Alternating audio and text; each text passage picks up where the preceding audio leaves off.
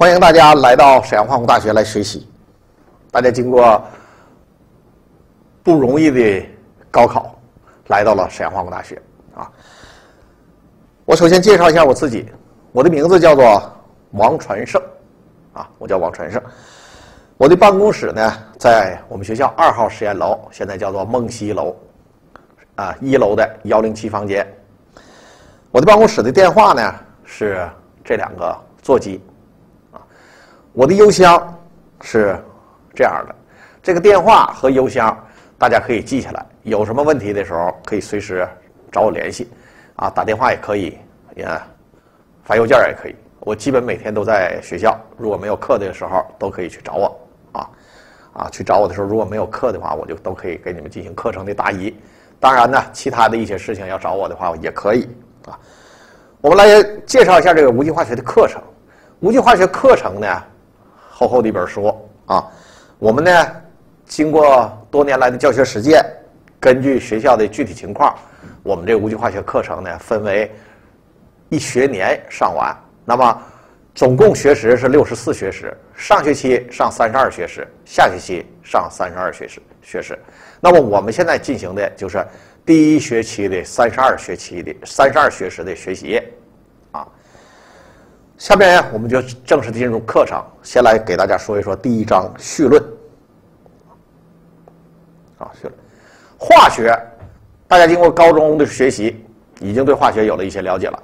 化学是无处不在的，啊，化学是无处不在的。现在，现代的社会已经离不开化学了。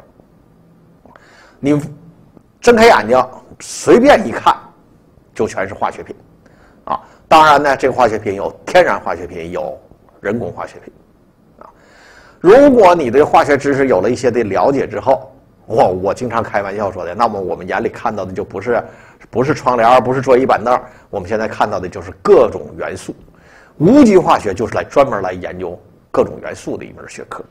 那么说起来，这个化学无处不在，我们可以举出很多的例子啊，我们可以举出很多例子，比如说自然界里边，啊。有存在着九十二种天然元素，这九十二种天然元素就构成了世界的万物，啊，就构成了世界的万物。那么，当然我们人类本身也是由化学构成的，啊，也是由化学构成。我们人体内可以找到这九十二种天然元素的八十一种。啊，有的同学可能说了：“哎呀，王老师，你说的太夸张了，那八十一种元素，我就不用想。”这个平常这元素有毒有害的就好多，你说你在体内能找到八十一种，那我们这人不都是平常就带着毒有毒的元素生活的吗？确确实实是这样。由于现代工业的发展，这社会的环境的污染已经非常严重，所以有很多元素都可以在体内找到。我们所说的呀，人类必须的元素啊，人类必须的元素有一些。还有一些人类是可有可无的，还有一些是人类完全不需要的，啊，人类完全不需要的。那么我们人体的重量啊，百分之九十九点九四五是由前二十个元素里边的十一种元素组成的。我们可以看看屏幕，是由这样的碳、氢、氮、氧、磷、硫、钙、镁、钠、钾、氯这样的元素。构成的，当然呢，不是以单质的形式存，不是以那个元素的单质形式存在，而是以化合物的形式存在。这些元素就构成了我们人类体重的百分之九十九点九四五。那么另外的零点零五五百分之零点零五五的元素，就是我们有一部分就属于是微量元素啊，有一部分属于微量元素，有一部分是我们人体必须的，缺少这些微量元素。那么我们人体就会有病，有一部分是可有可无的。那么我们在体内呢，都会找到，每个个体内几乎都会找到这些元素。那么这些元素在我们体内起的什么作用，目前还不清楚，因此把它归纳为可有可无的一类。还有一部分就是有毒有害，那这也就是刚才同学们担忧的啊，那么多元素我们体内都能找到，那我不岂不是害病了吗？就像我刚才说的，现代社会的污染太严重了。所以这些有毒有害的元素可能都会在我们体内找到，当然，并不是所有的有毒有害的元素都在我们体内找到。我在这里说的是，所谓的八十一种元素可以在人体内找到，是不同的人体里发现了有不同的元素，总共的元素加起来一共构成了这八十一种，啊，一共是八十一种。那么举例子来说，有害的汞、铅、镉这些元素，由于环境的污染，在体内尤其严重的是像这个呃镉。啊，不像这这个汞汞的中毒呢？汞在进入体内是累积性的中毒，累积性的，在你体内只要进入体内就不会再排泄出去，一直在你体内累积下来。因此，当我们对一个个体来进行检验的时候，它体内含有的汞元素，你有的时候你都不知道。如果你不清楚它的工作历程、生活历经历的话，你根本都不知道它这个汞元素是在哪儿污染到的。吸收到体内的，但是并不是一体内有这些有毒有害的物质啊，我们就一定会生病啊。有一些是很少啊，很微量。我们在这里说的是这八十一种都可以找到，是采用的极限的分析方法啊，极限的分析方法都可以找到。那有一些有毒有害在体物质在体内之后，并不一定导致我们生病啊。反过来。我们所知道的无毒无害的元素，也可以生成有毒有害的化合物，啊，比如说碳、氢、氧、氮，这样的就可以生成一些有机化合物，而一些有机化合物其中的一部分是毒性很大的，对人体的危害是很严重的，啊，是很严重的，啊，所以说无毒无害的元素不一定生成的是无毒无害的元素。哦，有化合物有毒有害的元素进入体内，也不不一定非得发病。但是总而言之，环境污染要引起我们的重视，有毒有害的元素尽量少的进入我们体内，这是我们搞化学的要特别注意的问题啊，要特别注意的问题。那么我们体内是由这个十一种，主要由这十一种元素构成的，它们都是。以化合物的形式存在，但是它们这个化合物呢，生成了之后不是静止不动的，它们是不断的变化的。这些化合物不断的来生成新的化合物，啊，不断的来生成新的化合物，也就是说，不断的发生着化学反应。比如说啊，比如说，同学们都喜欢运动，运动完了之后，肌肉会发生酸痛，那么这就是发生了化学反应，生成了肌肉酸啊，生成了肌肉酸啊。那么胃里边。有无机化合物盐酸零点一摩尔浓度的啊，那么我们一快要到吃饭时间，一想起食物，嘴里就分泌出大量的唾液啊，唾液，这都是化学反应的结果啊。胃酸是起到分解食物的作用，那么唾液呢也有着分解食物的作用啊。那么我们体内呢还有一些化学品、化学。的化合物还有一些化合物，我们像这个屏幕上现在大家看到的这个化合物，这就是我们所说的血血红细胞啊，我们血液里的血红细胞。由于这些血红细胞的存在，从而使得我们的血液呈现出红色。那么这个经过化学分析方法发现，血红细胞是主要是铁的配合物啊，是铁的配合物啊。那么所有的高级动物。都具有着红色的血液，原因在于什么呢？原因在于红色的配合物，血液中这个红色的配合物，也就是血红细胞，它呢对氧的运载能力非常强，这样就可以支撑这个高等动物的运动，啊，制成这个高等动物的运动。那么有一些动物，啊，有一些动物，它呢需要的氧比较少，所以它就没进化到。体内生成红色血那个血液的这个历程，因此它的血液不是红色的。那么是什么颜色的呢？我们看一看，它是有这样一种动物啊。现在这还是血红细胞的放大图啊，血红细胞放大图。我们来看一看这样一种动物，大家可能都不一定见过啊。这种动物叫做猴，俗称水水鳖，又叫马蹄鳖啊。它血液中是蓝色的，为什么它是蓝色的呢？从化学角度看，因为它是铜的配合物。它这个血液中的细胞是铜配合物，原因在于它生活在水中啊，生活在水中，水里边的含氧量比较少，所以它也捕捉不到那么多的氧气，然后它所捕捉到的氧气运载起来也不用那么大的量，所以它就蓝色的细胞，也就是铜的配合物的运载就可以支撑它的存活了啊，存活了。这是马蹄蟹，就是叫做猴，它是一个很古老的生物。那么还有一种生物啊，还有一种生物，这种生物大家肯定是没见过啊。这种生物呢叫做海鞘啊，海鞘，它所具有的血液啊，它所具有的血液是绿色的啊，是绿色。化学的观点看上去，它这个绿色的血液是矾的化配合物啊，是矾的配合物。这种海鞘啊，它生活在深海中，非常深的海水里。那么大家都知道，随着水压的水的深度的增加，水的压力增大，水中的压力增大，那么水里边的含氧量会减少。由于它生在深海里边啊，它生存在深海里边，所以它的活动半径非常小啊，它的活动半径非常小，因此它所处那个环境是氧气是非常稀薄的。所以它也捕捉不到更多的氧，因此它运载氧的时候也不需要多大的能力。那么这个矾的配合物就可以满足它的要求了。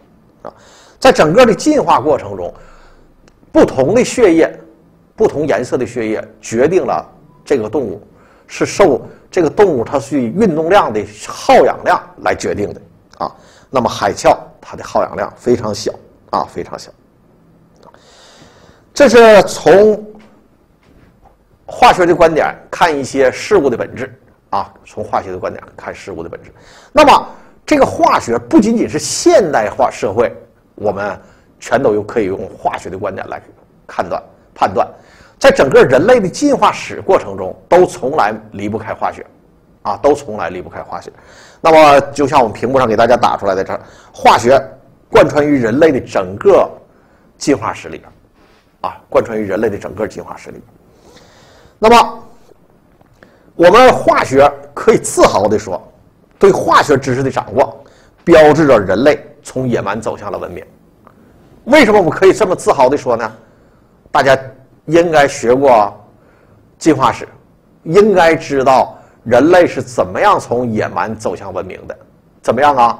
对，对火的知识的掌握，是人类从野蛮走向了文明。那么火是什么？火是一种化学现象，化学变化就是一种氧化还原反应，燃烧的过程就是一种氧化还原反应的过程，啊，所以说人类掌握了这个化学反应，掌握了化学知识之后，从野蛮走向了文明。当然呢，这是我们化学夸张一点说，当时人们掌握了火，只知道可以用火来做熟食，对不对？只知道火可以来驱暖、呃驱寒、保暖。他并不知道火的本质是什么，啊，并不知道火的本质是什么。那么其他的学科呢？对人类最开始的人类掌握其他学科知识的时候，也并不知道这个学科的知识的本质是什么。但是他掌握了其他学科，他不敢说他可以使人类从野蛮走向了文明。我们举个例子来说，我们现在社会都知道，如果嘲笑谁很弱智的话，就说他不识数。啊，不识数，但是识数了不见得是文明，啊，不识数不见得是野蛮。比如说，举一个例子，那么上一个世纪五十年代，德国有一匹马叫做汉斯，它就识数，啊，它就识数。你主人说几说一个数，它就会抬蹄子跺几下蹄子，十以内的没问题，完全正确，啊，完全正确。那他懂数了，啊，这是上个世纪五十年代的事情。我们还可以上溯到更远。中国有一句成语叫做“朝三暮四”，啊，“朝三暮四”说的不就是猴子吗？早上给他三个，晚上给他四个，对不？他能分清楚哪个多哪个少，啊，哪个多哪个少。那么这是将近三千年前的了。那三千多年前，猴子就知道三和四谁多谁少。那么，它又进化了两千多年，它从野蛮走向了文明吗？没有，啊，没有。马经过了八九十年，那个懂识数的马已经死了，其他马也没再继续进化呀。所以，对数学知识的掌握，并不能证明它从野蛮走向文明，不能使一种生物、一种动物从野蛮走向文明。那么，物理知识的掌握呢？很多动物都会物理利用物理的原理，啊，利用物理的原原理来捕食、筑巢，啊，比如说蜜蜂，蜜蜂筑的这个巢，科学家发现它是非常精密的，啊，非常完美的正六角形啊。经过计算，说这样的六角形省原料牢固。那蜜蜂从野蛮走向了文明吗？没有，很多其他的学科也都是这样，很多其他学科也都是，只有化学，人类对化学知识的掌握从野蛮走向了文明，而其他动物，你看他们对化学知识掌握吗？到现在为止，他们还是畏惧火的。所有的动物都畏惧火，一看有火，它们就远远的躲开，啊，所以大家在野外生存的时候，如果没有不能及时的回到你的宿营地的话，那一定想法要拢起一堆火来，啊，当然这是，呃，在中国的话，你可能很多地方你就是没有火，也没有野兽了啊。如果你到国外旅行的时候，如果到一个偏僻的地方没有宿营地的话，那么你一定要拢起一把火来，以驱赶野兽，啊，驱赶野兽，这就是。化学知识的掌握使人类从野蛮走向了文明，啊。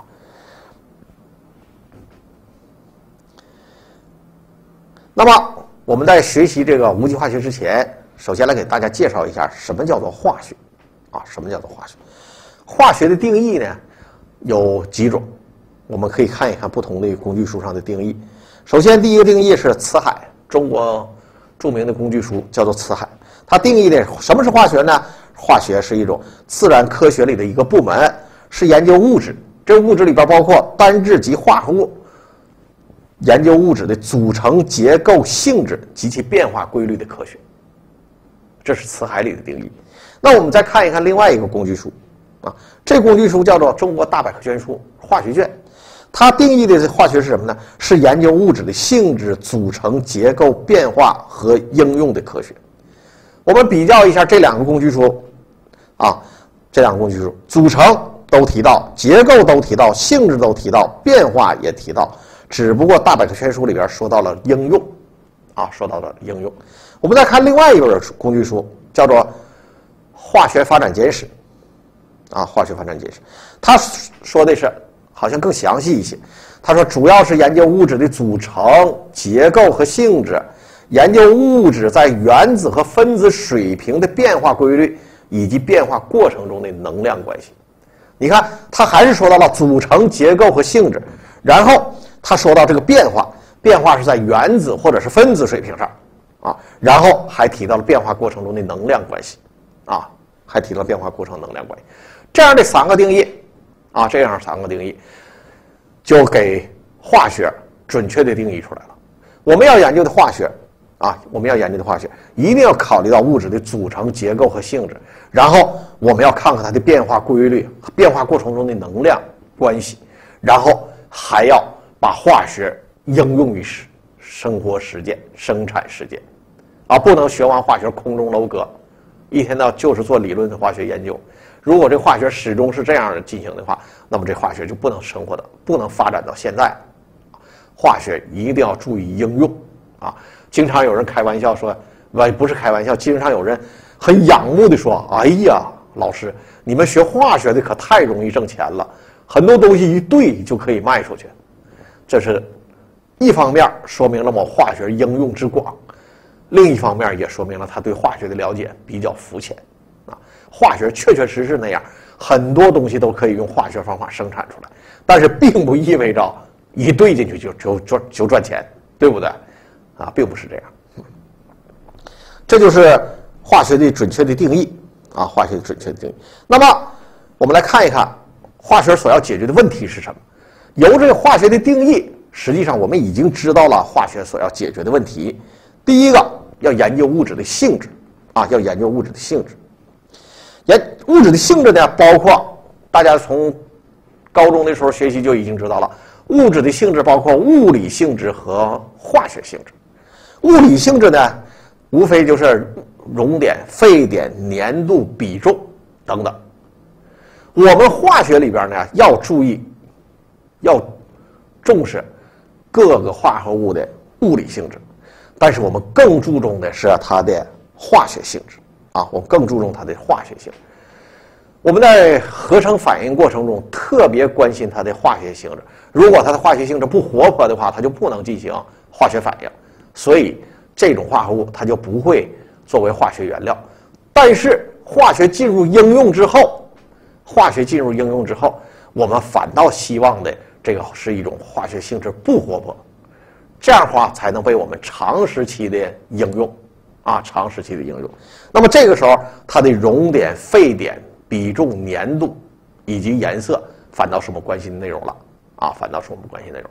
比如说大家现在做这个课桌。啊，做这课桌，这个课桌呢，我们做成了之后，这种化合物表面是一定有化学的啊，这高分子的覆膜。这种高分子的覆膜，我们就希望它稳定存在。然后我们现在做的是黄色的椅子，我们还希望做成粉色的、绿色的，甚至有的时候做成红色的。那这不就关心它的颜色了吗？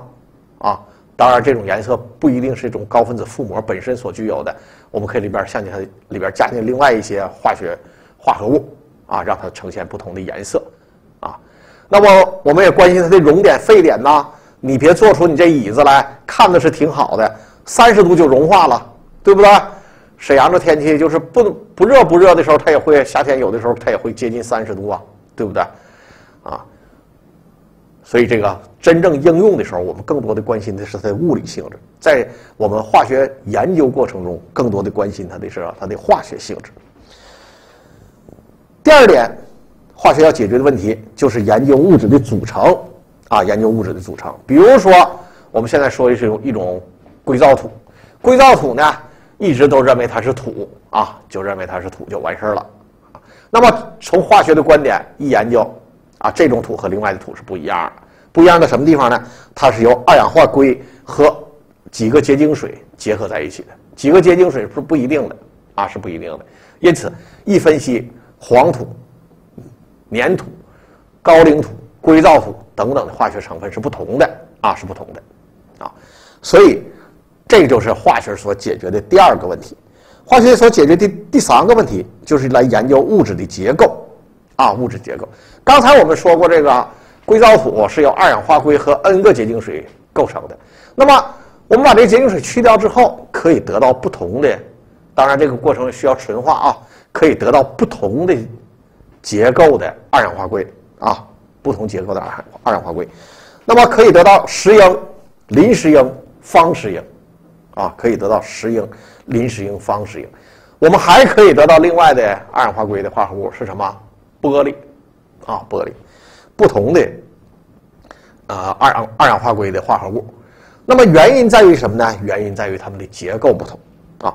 结构不同，区分在什么？有的同学可能化学知识学得很好，会知道二氧化硅为什么会呈现出表现为这样不同的化合物。那有的同学可能忘记了这一点。那么，为什么二氧化硅会有形成这样一些不同的化合物呢？原因在于二氧化硅同样都是二氧化硅，但是氧和硅之间的位置会有变化。这个位置的变化的不同，导致。生成的化合物的结构不同，虽然我们最后分析的都是一个硅两个氧，硅和氧之比都是一比二，但是它们之间的排列的位置次序不同，导致它们生成的化合物不同。另外一个例子是四个碳、十个氢、一个氧这样的有机化合物啊，有机化合物。那么由于它们之间这个各个分子之间的排列的次序不同。结合方式不同，所以生成了不同的化合物。比如说丁醚啊，丁醚它也是四个碳、十个氢、一个氧。那么丁醇也是四个碳、十个氢、一个氧。那它这是构成了完全不同的化合物。通过这个例子呢，大家可能看的就会更清楚，各个原子之间距离的排布的方式以及次序不同。会导致它们生成的化合物完全不一样。化学所要解决的第四个问题就是研究物质的变化规律啊，物质的变化规律。这个物质变化规律呢，我们举例子来说，比如说水啊，水是由两个氢和一个氧化合而成的啊，但是这两个氢和一个氧是不是随时都可以化合成水啊？它在什么条件下的转化率是最大的啊？为什么空气里边的氢和氧不会发生反应啊？这就是这个变化的规律，是我们化学所要研究的内容。那么，然后还要研究，不仅仅要研究它的化学性质，我们还要研究它的物理性质。比如说，还是水，为什么它会在一百度的时候沸腾啊？为什么它在零度的时候结冰啊？为什么它在四度的时候比重最大？啊，这也都是我们研究的这个属于变化的内容。也都是所我们所需要研究的啊，所需要研究的。那么，在对化学、无机化学进行学习之前，我们来整个把那个化学的发展历史回顾一下啊，把化学的发展历史回顾一下。化学的发展历史可以分成大的分成三个期时期，详细的再分又多出两个时期，也就是一个大的时期内会分出两个小的时期。总共是三个大时期，五个小时期。第一个叫做萌芽时期，啊，萌芽时期呢是从古代一直到十七世纪中叶以前。这个萌芽时期呢，我们可以把它分成前后两期，啊，前后两期。前期是四世纪，四世纪之前，我们都把它称之为古代化学，啊，我们都把它称之为古代化学。那么后期。是四世纪到十七世纪的中叶为中古时期，啊，为中古时期。那么在这个前期啊，古代是化学知识呢完全处于萌芽时期。那么在这个时期呢，中华民族在这个时期里对化学知识的贡献值得大书而特书，啊，值得大书而特书。比如说陶瓷、金属的冶炼、纸的发明。啊，这些都可以值得大书特书，啊，那么还有火药的应用，还有火药，呃，四大化发明里边，造纸、火药都是化学知识，啊，都是化学知识。呃，我们可以说中国做出了杰出的贡献。当然，中国也还有另外的杰出的贡献，那么就是叫做炼丹术。或者全称叫做金丹术，就又想炼金又想炼丹。中国人在这方面也做出了比较大的贡献。我经常把它称之为叫做荒诞中诞生的科学。这些人呢，他不是真正想研究化学，他想研究怎么样长生不老，研究怎么样能把一些东西变成值钱的东西啊，可以炼炼出黄金，炼出白银啊。当然，现在我们都知道，这显然是痴人说梦了。但是，但是由于他这么乱做，结果反倒对化学知识进行了触触动了化学知识的发展。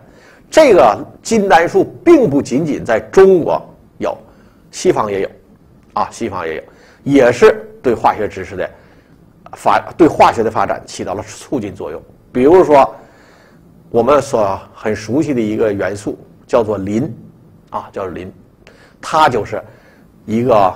炼丹的人，炼啊炼金的人，一个炼金的人所发现的，啊所发现的。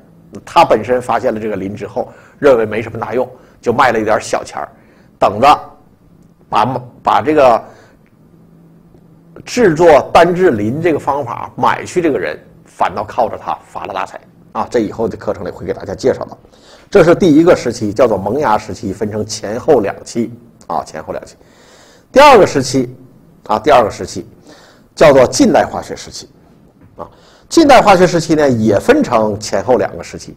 近代化学时期整个的说起来，就是从十七世纪的后半叶到十九世纪末，啊，这个时期呢分成两个时期，前期啊是十七世纪的后半叶到十八世纪末，属于近代化学的孕育时期，啊，近代化学的孕育时期，那么。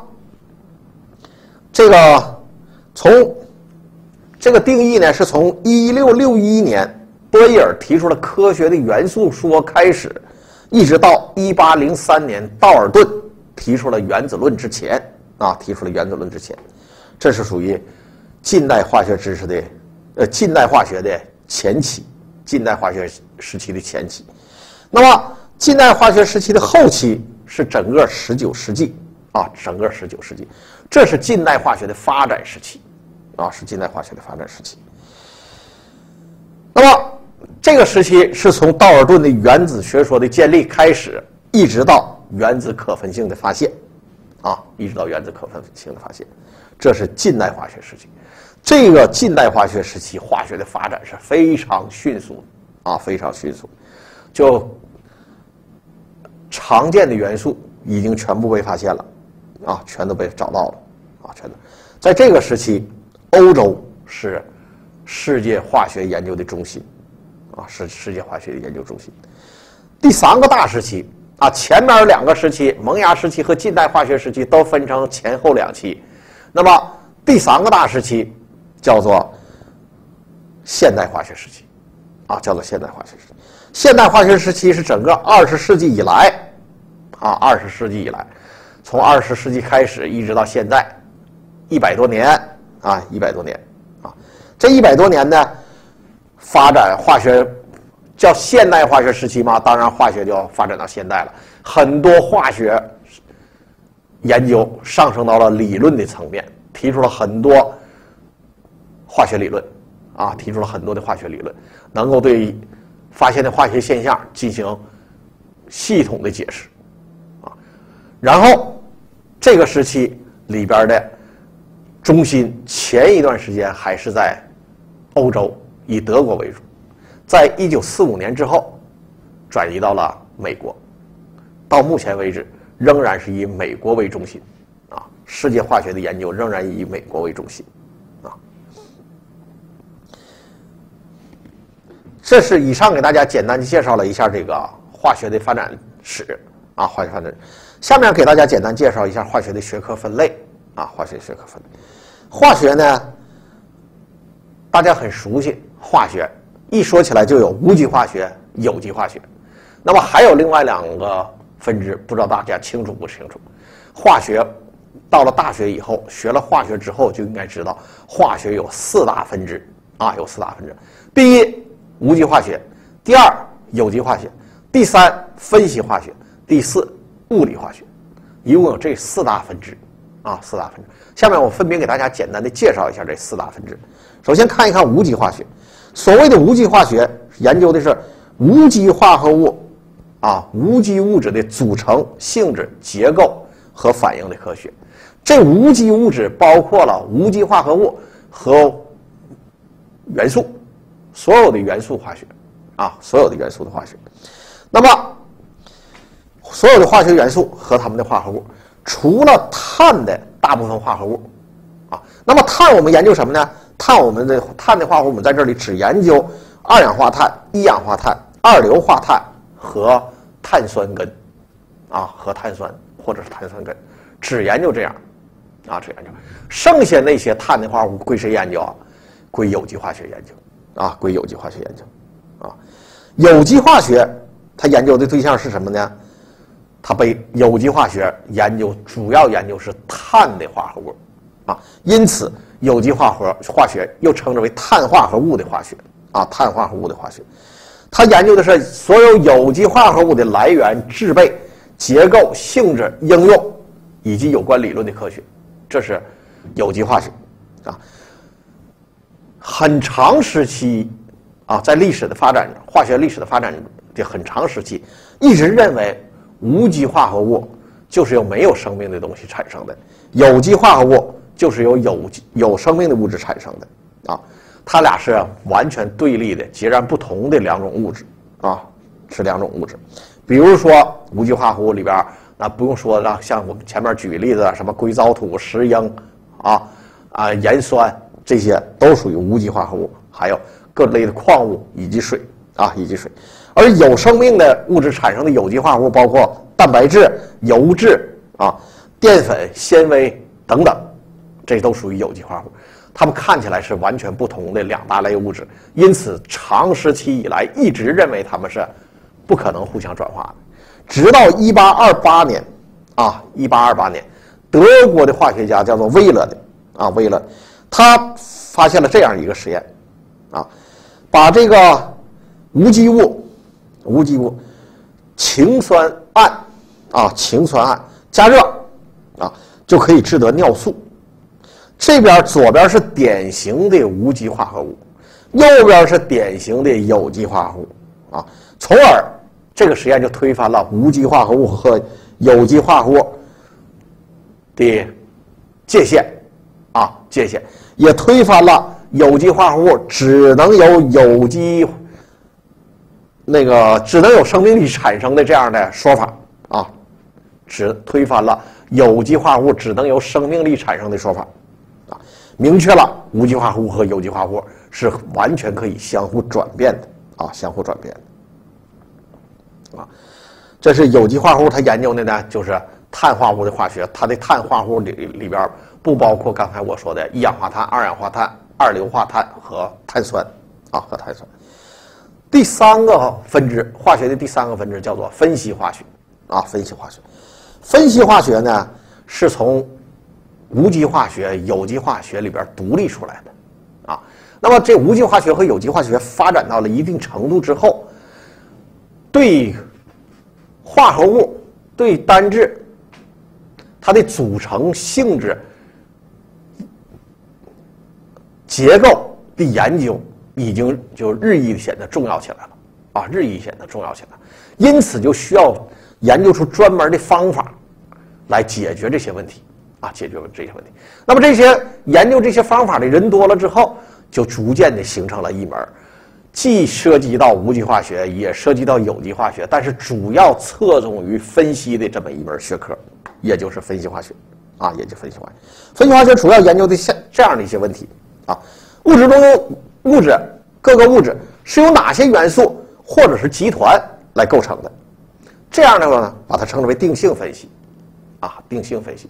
只要说出它有哪些元素，或者它有哪些集团就可以了，啊。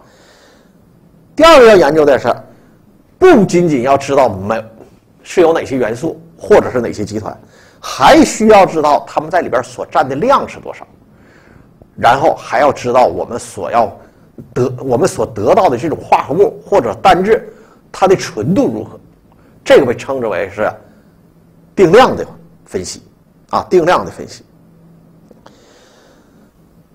分析化学研究的第三个问题是研究这一个物质里，啊，为什么它的组成是相同的？比如说刚才我说的二氧化硅，为什么二氧化硅都是两个氧一个硅，却可以变成方石英、林石英，啊，还可以变成玻璃？那么因此，第三个要解决的问题就是原子之间彼此是靠着怎么样连接而成的，啊？原子彼此之间是如何连接而成的啊？这个呢，还有加上一个，它们在空间是如何排列的？这个属于结构和立体分析，啊，属于结构和立体分析。这是分析化学要解决的这样三个主要问题啊，三个主要问题。它研究的对象可以是单质，也可以是复杂的化合物，还可以是复杂的混合物，啊，可以是大分子啊，可以是小分子，可以从无机物到有机物啊。那么可以从低分子量到高分子量，啊，比如说可以研究的十的正七次方的原子质量的这样啊。那么研究的对象呢，这个物组成可以是存在的物物理状态，可以是气态的、液态的、固态的啊。那研究的这对象呢，量的大小可以从一百克以上啊，一直到微克。以下，啊，研究的范围是非常广的啊，非常广。分析化学呢，它呢是主要是以化学的基本理论作为基础，然后加上实验的技术，啊，然后加上实验技术。当然呢，现代分析化学呢还会吸取物理、生物、统计、计算机自动化这些各个方面的知识，把这个分析化学充实起来。因此，它变成了一门独立的学科，啊。变成一门独立学科，啊，分析化学要是最简单的那部分，四大必定，非常简单。如果要是现代分析，那就涉及到很广的知识了啊，很广的知识了。第四大分支叫做物理化学，啊，物理化学呢是以物理的原理和实验技术为基础，研究化学体系的性质和行为，发现并建立化学体系的特殊规律的学科。物理化学是以物理的原理和实验技术为基础，那么因此啊，它和分析化学是紧密结合的。很多的分析化学都应用了物理化学的原理啊，很多分析化学方法都。应用了物理化学的原理，啊，那么物理化学这个课程呢，由于它涉及内容比较深奥，啊，所以学起来很难学，呃，希望大家呢以后学到物理化学的时候重视起来。我在这里呢就不跟大家多说这物理化学的东西了。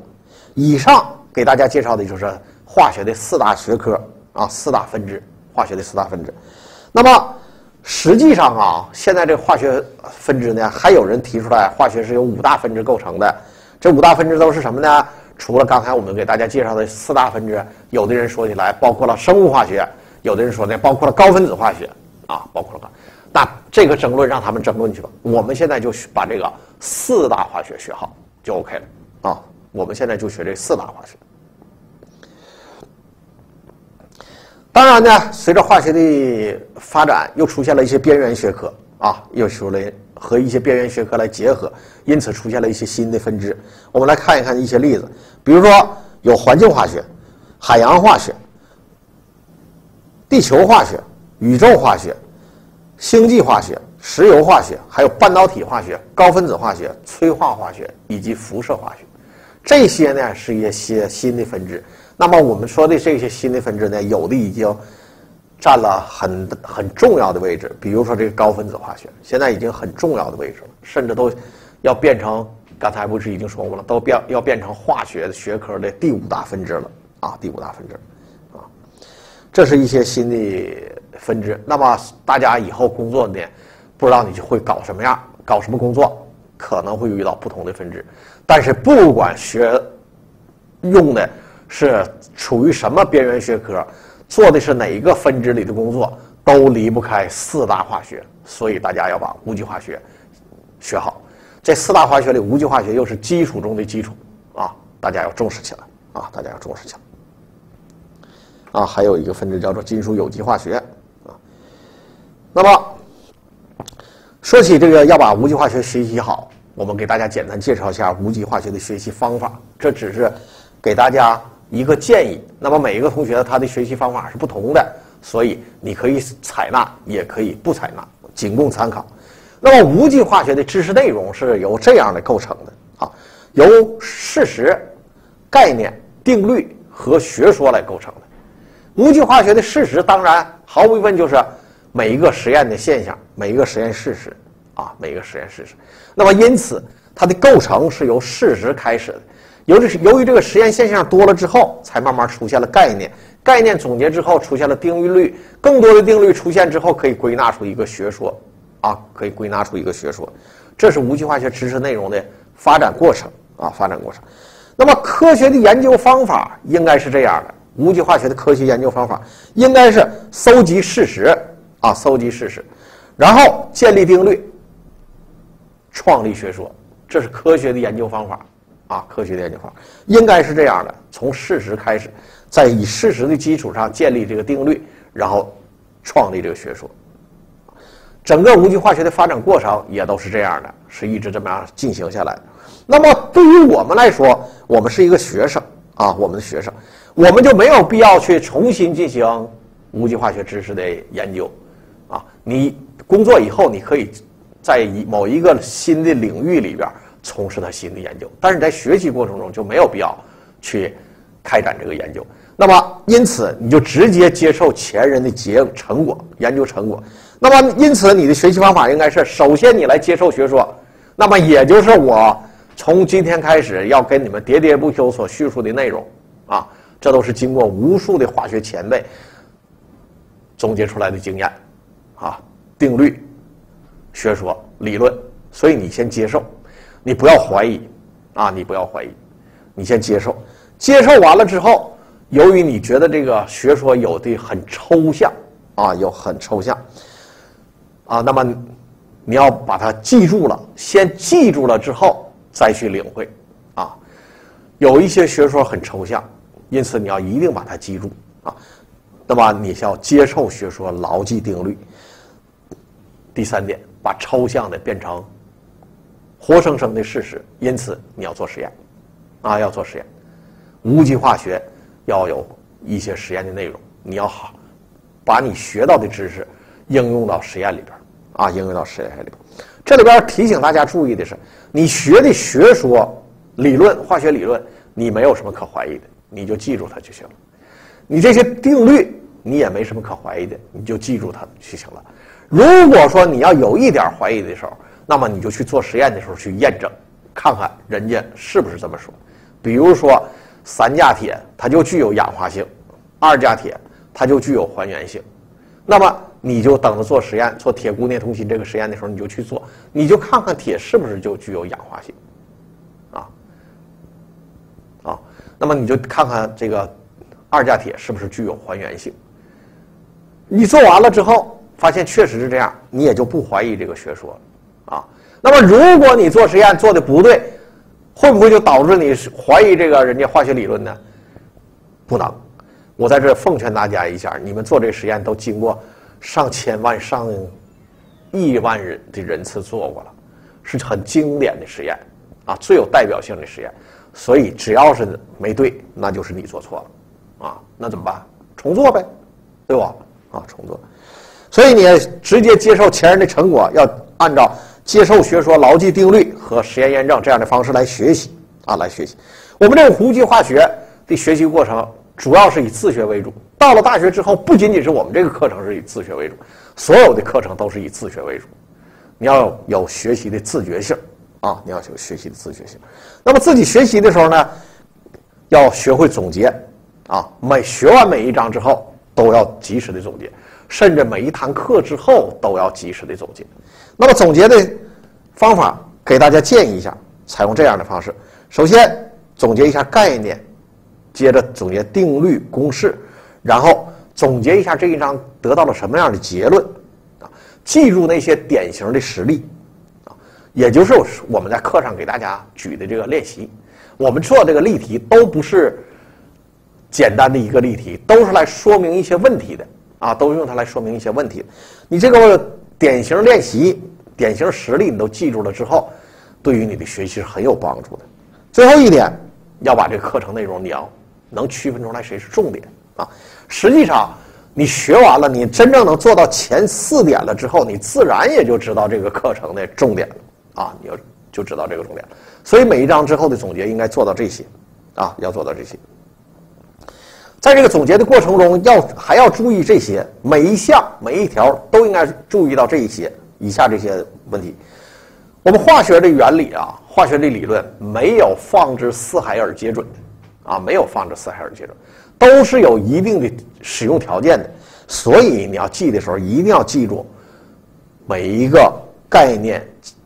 定律、公式，它的应用条件和范围，啊，它的应用条件和范围，一定不要盲目的使用，啊，放在 A 条件下可以使用，放在 B 条件下就不可以使用，一定要注意这点。第二个，你在学习过程中，你要找、知道、找到哪个地方容易疏忽、容易出错、容易误解的地方，那么也就是你学习的时候，你发现，哎呀，我昨天领会的和今天领会的不一样，这个地方你要注意。为什么会造成你这样两天或者是每次的学习领会的不一样？你要把它记住啊，要把它记住。那当然呢，也就包括了你啊，你记住了刚才那些，你要就记住了你出现了哪些误解、哪些错误、哪些疏忽啊，哪些疏忽。那当然呢，应该注意的问题你也就知道了啊，你也就知道。既然是以自学为主啊，我们就给大家推荐一些参考书。我们这个是大天津大学的无机化学教材，是工科教材，因此我们推荐的第一本参考书呢，也是工科教材，是大连理工大学的无机化学，大家可以到图书馆借啊。第二本教材是清华大学的无机化学原理，这也是工科教材啊，也是工科教材。第三本是南京大学的无机化学，啊，第四本是无机呃吉林大学的无机化学。这两本教材呢都是理科院校的啊，都是理科院校，那么显得呢比前两本要显得深奥一些啊，深奥一些。那么你要说的拓展一下，在咱们课程的基础上拓展一下，或者从另一个角度来理解的话，你看我前两本教材就行了。你要想更深一点啊，开开玩笑说的，你要钻牛角尖的话，那么你就看看下两本教材，啊，下两本教材，在图书馆都有，大家可以去借。那么还给大家推荐，你可以看看一些其他的参考书。但是你不管找什么样参考书的时候，你都要注意找的是这个权威的机构或者权威人士。什么叫权威机构啊？就好学校的，对不对？你别找乱七八糟学校的，很低端的学校的书你就不要看了啊。那里边不会有太好的老师啊，这有点开玩笑了哈。那么找的时候要注意找这样的，给大家建议找这样的三个层次。第一，要找同一个档次，啊，也就是上面我跟大家说的大连理工。清华大学，这是同一个档次。换一个角度来理解，从工科院校的那个无机化学内容来换一个角度来理解。第二个要高一个档次，就是南京大学、呃，吉林大学这样的理科教材啊，它呢叙述更严谨、更深刻啊，更深刻，有助于你更深的理解这个课程内容，或者像。有助于你学到更多的化学知识，啊，那么在做到这两点之外，你还可以看一看低端的，啊，低端的，低端的烂学校，啊，对，大专教材都可以看一看，中专教材都可以看一看。为什么？因为他针对的学生理解力显然不如你们，所以他要把一个复杂的问题啊，用特别朴实、平实。通俗的语言来叙述，可能我们学这个教材里边说的是非常书面化的语言，你看起来可能有的时候感觉哎呀理解不了。你换一下这个低档次的教材，哎呀原来就这么回事，啊，就开玩笑就说的是，本来是好好说话全能听懂，我们这个好点教材非得给你说成甄嬛体啊，非得给你拐弯抹角一大圈啊，就是这样。以上呢就给大家介绍了这个。无机化学的绪论的部分内容，啊，好，今天这堂课我们先上到这儿。